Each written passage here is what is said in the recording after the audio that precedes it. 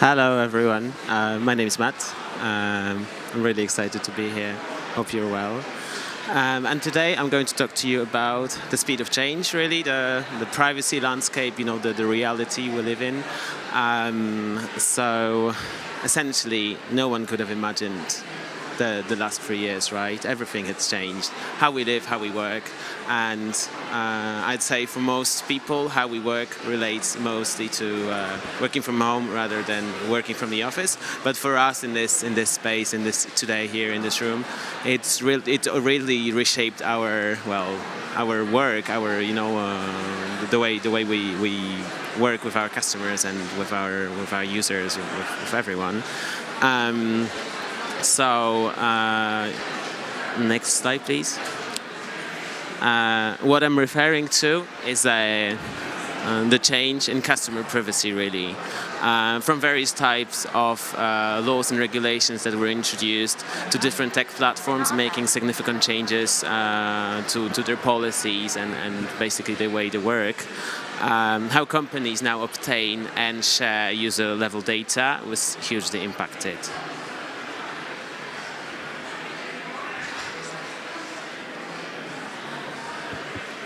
Uh, but before we get into detail, uh, first things first, quick intro. Uh, my name is Mat. I'm a solutions architect at AppsFlyer. Uh, my job is to work with uh, customers and prospects to help them solve all the uh, mobile attribution and, and marketing analytics problems. I'm also a product specialist on the AppsFlyer's product suite. Um, my background is in um, data privacy, data security. I've been working in mobile, mobile attribution uh, as well. So, so basically, uh, uh, I've, I've been in the industry for a while. I've seen a lot of change. I've seen a lot of new trends coming. And one thing that I really love at AppsFlyer is how we embrace it all to create solutions that are um, creative and innovative. And in case you haven't uh, well heard much about AppsFlyer. Uh, we are a market leader in mobile uh, mobile MM, MMP basically, so uh, mobile attribution and and um, marketing analytics. Uh, with over 1,300 employees, uh, 19 offices globally, we're fortunate enough to be. Um, working with 65% of, of mobile apps uh, players. Next slide, please. Um, yeah, so let's get to it. Uh, privacy, uh, we hear about it, we read about it, it's, it's everywhere, it's even in, in, billboards as a selling point, right? Apple uses privacy as a key advantage in, in their ads, uh, and Google uh, uses uh, basically, Google promotes videos that uh, show you know, their users that their searches are actually private. and this is driving an awareness and behavioral shift in people that will come to define the next era of how we use the internet. Next slide, please. Um, but the change that led to privacy becoming core to our um, experience on the internet didn't happen overnight, right? It didn't happen suddenly. Uh, and we've actually been having the, the front row seat in, in seeing this change materialize. Um, and the writing was on the wall, right? Uh, I know that because here at AppsFlyer we've been investing uh, heavily in, in privacy uh, for many years now.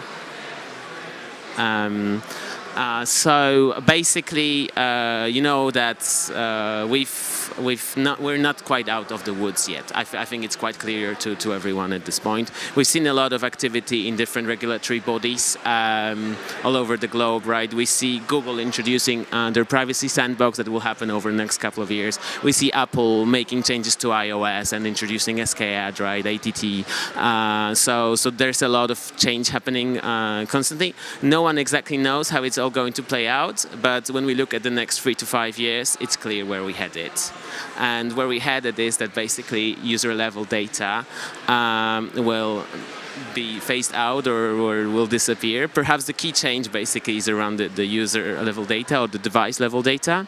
Um, back in 2019, the conversation was mainly about what's possible with all the data points that we had. With by, by basically leveraging the uh, user level data, we were better able to understand customer journeys uh, across different devices, right? And also we were able to build hyper personalized um, paths and funnels to delight those customers. But obviously things have changed since, and we will need to adapt this uh, to, to, this as well.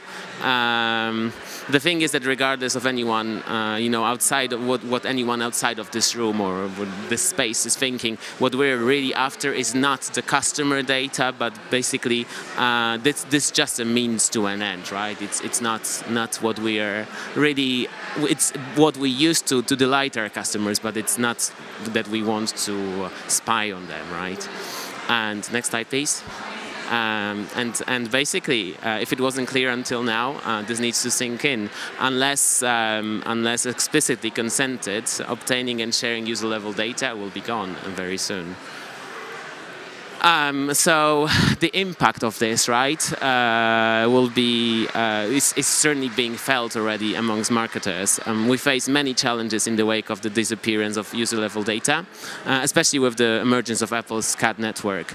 Um, so, as many of you might know, Apple with uh, iOS 14 uh, decided to to basically um, do a little revolution and and uh, change the way things work. And and obviously there's just one post back being sent. So it's the way we measure LTV right? Lifetime value of users has changed completely. And uh, there's there's been a yeah 180 degree turn in, in basically how things are working. And now uh, in the uh, worldwide uh, developer conference that was held last month, I believe. Apple announced that actually they will come to free postbacks. There might be some more information that will, that will be uh, available, but at this point it's unclear when the new version of SKAN will be implemented, and uh, so the lack of uh, ROI data will still remain a problem until this time. Um, another challenge that we face is the uh, remarketing being very much affected in this new world. So, as many of you might know, in iOS 14, users have opted out or might opt out, and this happens quite a lot, of ad tracking. And this means that uh, advertisers have no access to IDFA to work with anymore. And without this identifier, obviously, remarketing becomes um, far more complex and, and challenging. Uh, so, app owners need to use other identifiers um, to encourage user opt-in, uh, such as requesting an email address, right? But or any other form of identification. But the problem related to those is that these identifiers are considered first-party data and therefore adhere to new privacy standards for example, GDPR, right? Obviously, there's so much change that has happened um, lately that uh, it's it's just it's getting more and more complex, right? And obviously, each limitation has a workaround. You can still glean insights and add value, right? Um, however, the combination of these factors means that there is fewer data available for advertisers and attribution partners to work with. Um, so because of all of this that we were talking about, uh, this, basically these changes have forced companies to develop their own approaches, their own standards, right, their own approach to privacy, their own frameworks, their own data silos, their own data flows, right? It means that everything is getting more fragmented and more um, convoluted, really, than it's ever been before. Um, and if anything, persistent identifiers um, served as an unofficial standard before, right? This was our co common language uh, we spoke, but obviously uh, the deprecation of it has caused a, lot, a lack of standard now, really. Proliferation of, of um, data silos and uh, significant added a significant layer of complexity, really. Um, and not we're so far we're talking about the let's say the marketing landscape, but obviously you know the pressure is growing not only for us but from everywhere, right? We're encountering volatile macroeconomic conditions, conti continued industry changes, um, rising acquisition costs, right? mounting pressure uh, from many places, and as far as I understand, no CEO will come to a CMO and say, "Hey, listen, you know, I, I understand your your you know your your job got harder. We're going to relax your um, your growth goals." No, it's not going to happen simply, right? Obviously, the the fierce competition is there to stay, and it's getting fiercer and fiercer. So that's pretty much the uh, reality we have to live in. Um, and if we don't change the rules of the game soon, it might turn into a losing game for both basically uh, our industry and the digital society really. So the big question that emerges is how do we continue from here? How do we continue um, to make meaningful experiences for our end users, right? Uh, continue to grow without compromising on user privacy. Can privacy and user experience really coexist? Um, yes, we believe that that it, that uh, it can, and so enter the data clean room. Um, imagine an ecosystem where users uh, basically or everyone can bring their data and uh, collaborate without having to share any user level or raw data with one another. A solution that maintains um, the great value and customer uh, experience uh, currently enabled by cookies and identifiers, right, uh, and all other user level data, but without any privacy concerns. And this is basically the purpose of um, data clean rooms in a nutshell. Um, so what we're thinking about, what we're talking about really, is the Switzerland for data of sorts, right? Uh, DCRs uh, allow secure collaboration between brands and um, various industry players they work with. Um, brands can define their own business logic, compliance, and, and data governance to ensure that uh, sensitive user level data is kept safe and private and exactly the way it should be, right? Uh, essentially, brands still will be able to calculate um, their campaign KPIs uh, while preserving consumer privacy and delivering experiences customers know and love from before.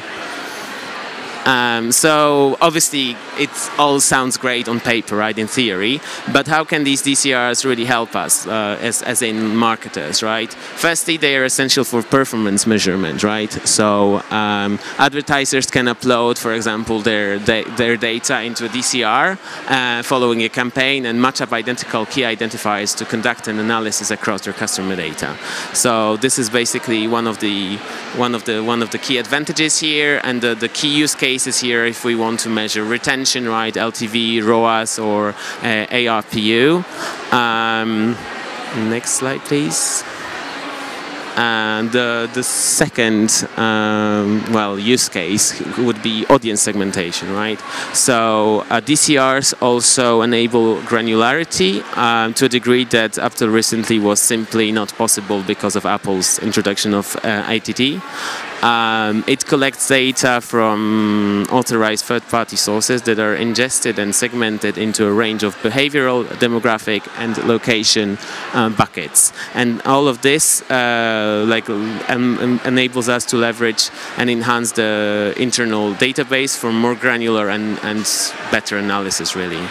Um, the beauty of of all of that is uh, that rather than uh, requiring users' personal data to be shared in order to uh, conduct an analysis, a DCR or a data cleanroom enables multiple data sources to be virtually connected through an anonymized cohorts. Uh, this enables marketers to measure the intersection that exists between the target audiences and the various uh, media audiences. And the third, uh, third thing I wanted to mention is incrementality, right? Uh, so impression data from publishers, audience, first, first party response, and conversion data can be all tied together uh, at the user level to help you understand the incremental impact of your marketing efforts. Uh, so think about the ability to compare between uh, your tests and mediating groups through A/B testing, right? This is one. This is a, clearly a game changer. Or more importantly, you can com compare between your exposed and unexposed group.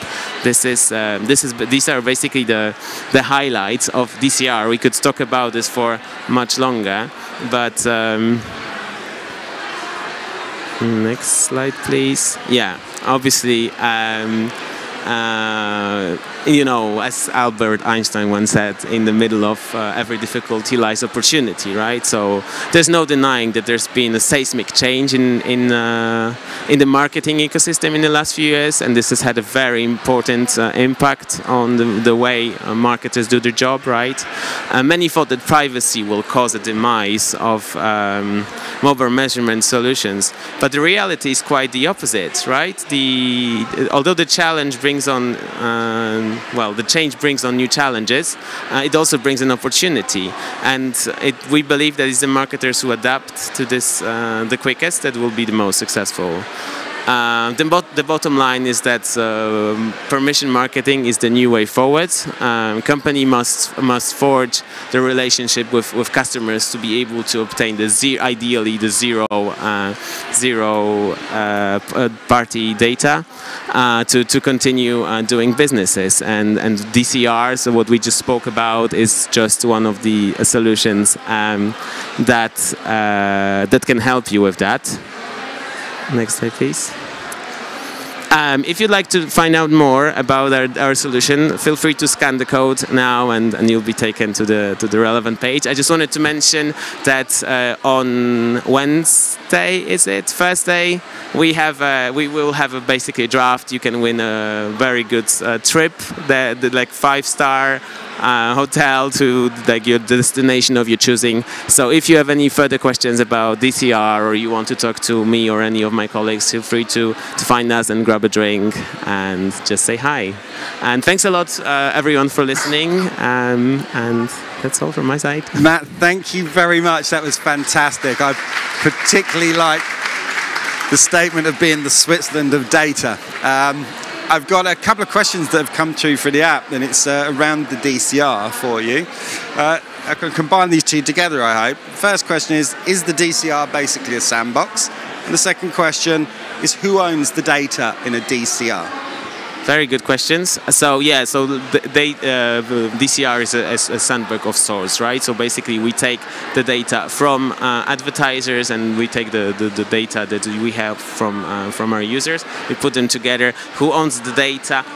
I would say no one really. So like basically every party has their own data, but like makes them available only for a moment to compute the KPIs that we want to see, and we, it doesn't really belong with anyone, right? We don't breach any privacy laws by by accessing this.